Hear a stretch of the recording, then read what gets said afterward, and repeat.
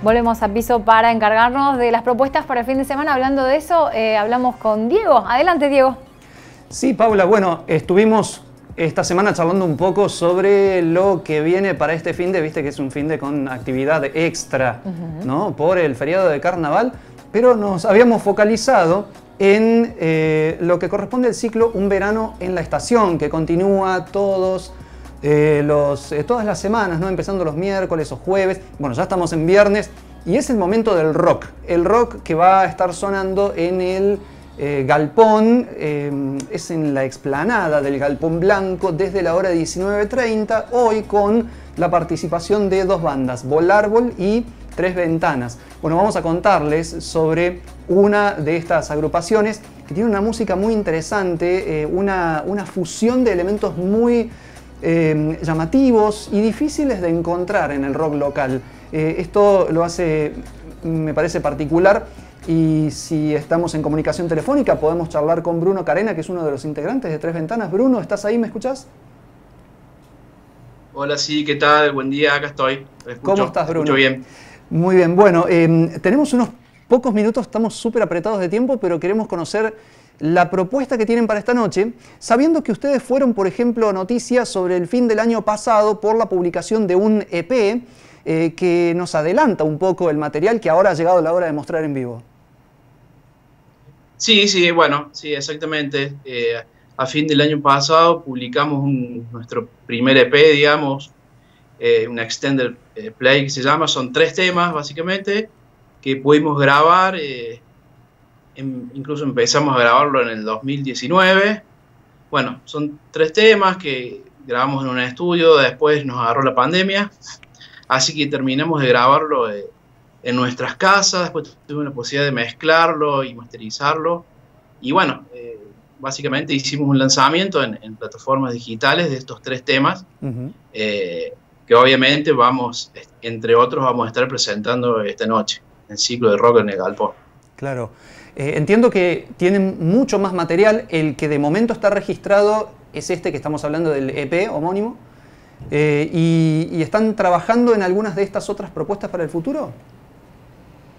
Sí, sí, eh, como decís, tenemos temas anteriores que surgieron antes, porque la banda tiene varios años ya, y hoy en el repertorio tenemos tanto temas de anteriores e incluso ya hasta lo mejor hacemos un, un, estreno, un, estreno de un tema nuevo y ya estamos trabajando, digamos, en, otros temas nuevos. ¿sí?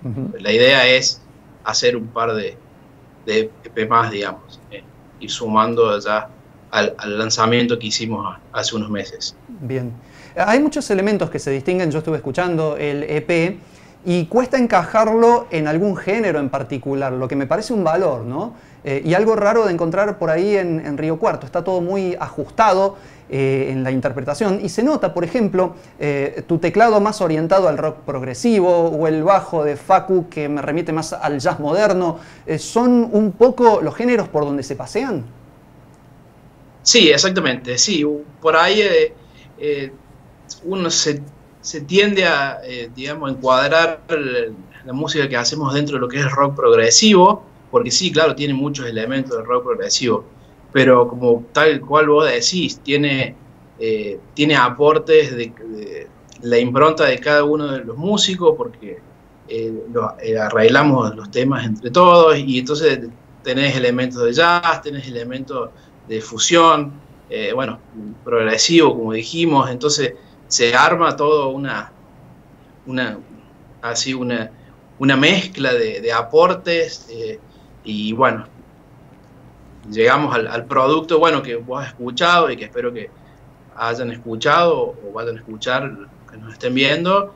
Y bueno, sí, se encuadra de alguna manera porque tenés que encuadrarlo dentro del rock progresivo, pero creo que tiene eh, muchas, muchas, eh, muchos matices, muchas cosas adentro.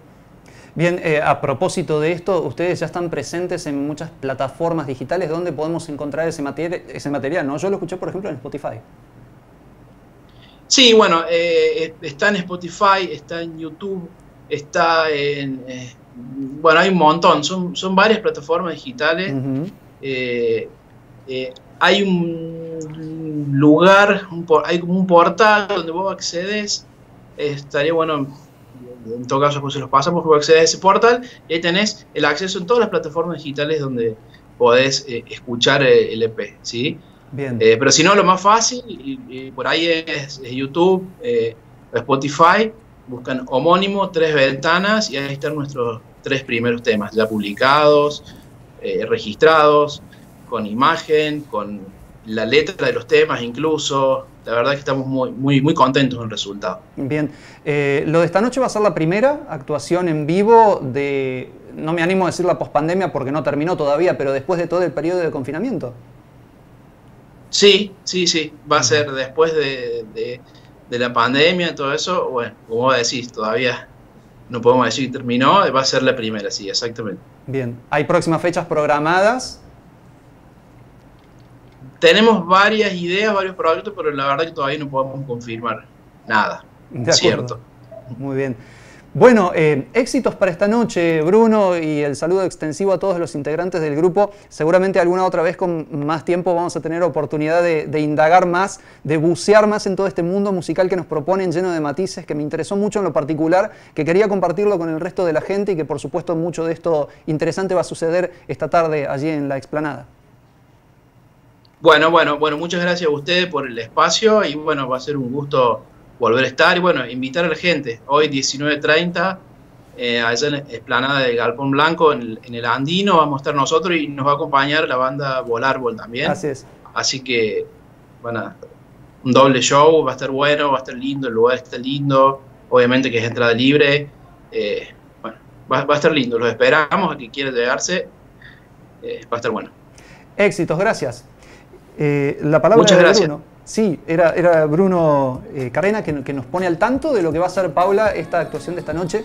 Una de las tantas bandas que hemos charlado en los últimos tiempos em, van a tener su paso por esta nueva forma de shows presenciales aquí en nuestra ciudad, cosa que celebramos y que recordamos a la gente que tiene que ir eh, dispuesta con los elementos que ya se conocen, no tienen que tener el barbijo. Que ya hemos incorporado. Claro, guardar distancia social y no nada más complejo que lo que ya conocemos, el resto es simplemente ir y disfrutar. No, y por eso le preguntaba a nuestra colega de Villa María la situación, porque, a ver, no, no tenemos que relajarnos, ¿no? Celebramos la vuelta al cine, que ojalá que se dé pronto, como hablábamos con Florencia Hueve aquí en Río Cuarto, celebramos la música en vivo, pero también está volviendo a crecer la, cantidad de gente que tiene miedo por los contagios, por las diferentes situaciones que se están dando en Villa María y en, el, en la provincia de Córdoba en general.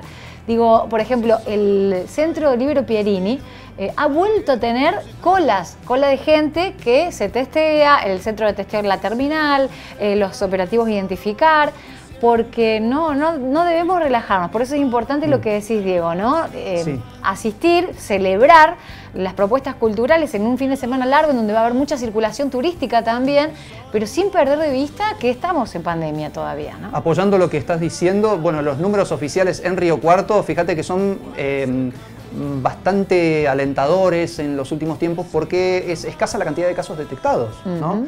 Pero si nos relajamos, la situación va a ser otra, entonces el, llamado es insistente, lo sabemos, a veces tenemos esa mochila, la de tener que, insistir y, y, bueno, y no ser tan agradables en ese aspecto, pero son las recomendaciones que siempre tenemos que tener en cuenta porque así es como van a funcionar bien las cosas. Que tengas buen fin de semana, Diego, y será hasta el miércoles. ¿eh? Hasta el miércoles.